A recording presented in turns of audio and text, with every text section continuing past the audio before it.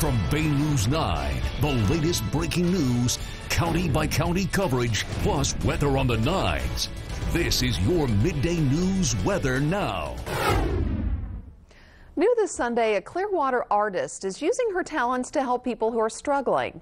As Bay News 9's Lori Davison tells us, with a paintbrush in hand, she's making a difference, one portrait at a time.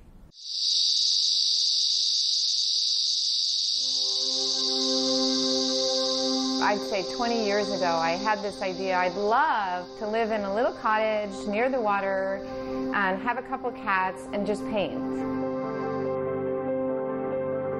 For years, Laurie Anspach was living that dream, working as a commercial artist. But she wanted more. One day I, I had the idea I wanted to paint for people that it, it had a lot of meaning. And uh, I wondered, well, who, who would they be?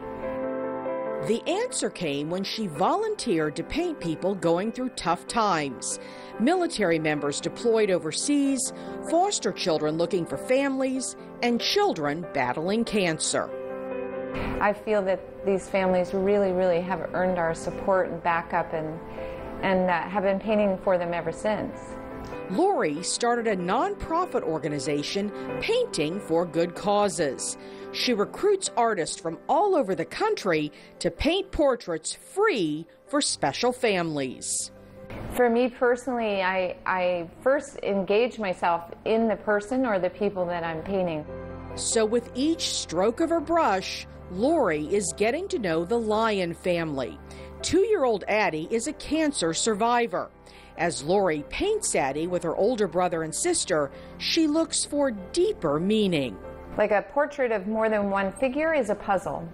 And it's where one person leaves off, the other one person starts. And to me, this very much communicates their feelings for each other, their closeness, their family. Are you excited? The Lions arrive at Laurie's house eager to pick their portrait up. Hi. Hi. Their eyes light up as they see themselves captured on canvas. Do you think it's great? Do you want to go tell her thank you so much? Say thank you.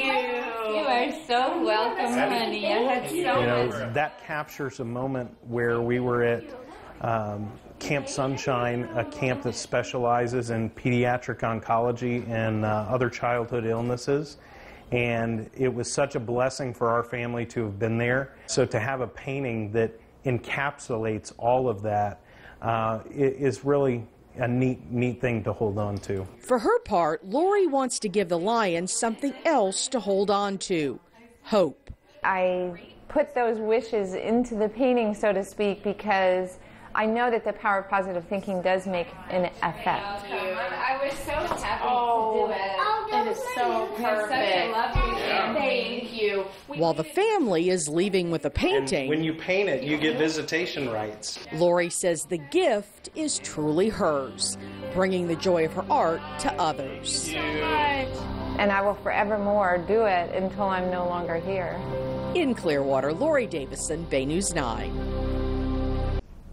Laurie wants to use the money raised through her nonprofit to rent a studio where artists can come from all over and paint for charity.